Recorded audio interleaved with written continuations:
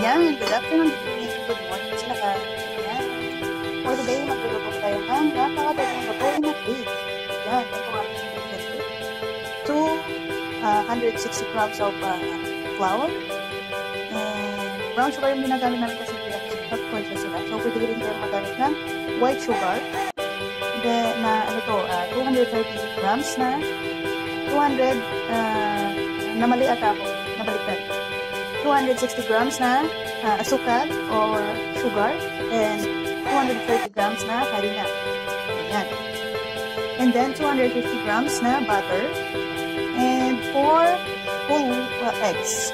Yan lang po ang ating ingredient. Gumamit po ako ng flour na may kasama na po siyang ibadura o ipapa or yung pampalsa na tinatawag. So, napakasimple lang po. Haluin lang po natin yung uh, dito sa Thermomix po. Napakabilis lang po siya. So, haluin lang po natin ang egg at saka yung butter. Yan na po ang egg and butter. Mimix lang po natin sa todong todo, todo, or ng bonggang-bongga.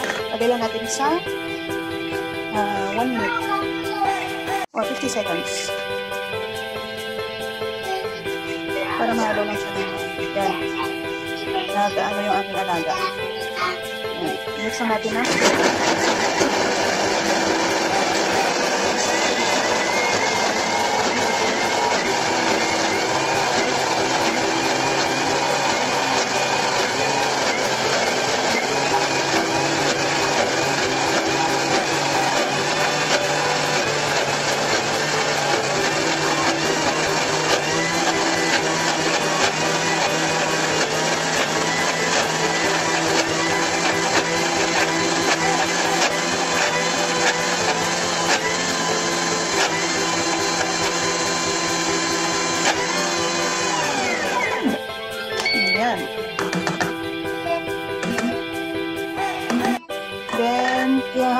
natin ang harina.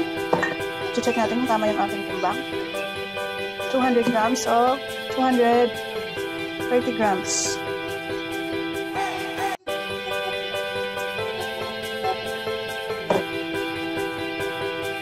Yan, 230 grams. 120 pa rin.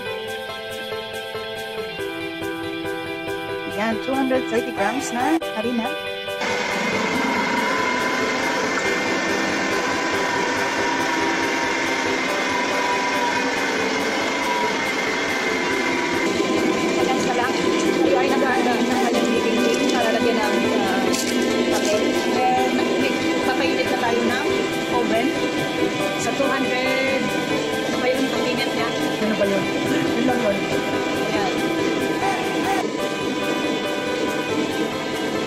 200 degrees ang init. Yan. Tapos na po ang ating mixture.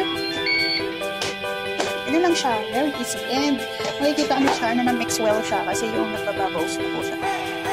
Yan. Isasali na natin sa ating baking tin. Mm.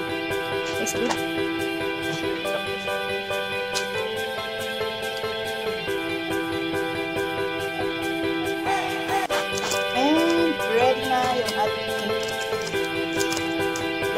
Sa oven. Wow, ang.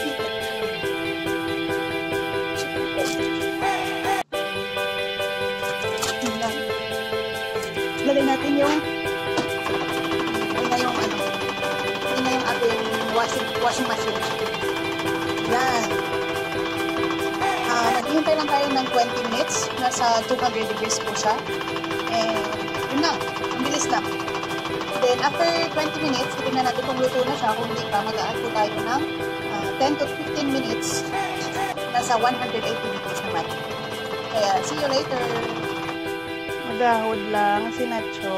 Luto ng amon nga cake for breakfast.